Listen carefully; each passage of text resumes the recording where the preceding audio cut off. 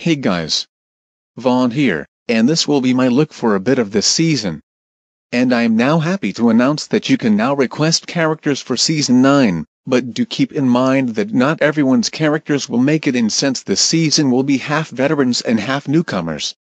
You can also request a troublemaker if you would like. Once again there is also a form in the description so that you can sign up to be a co-host for the season. That is all. See you when the cast gets revealed.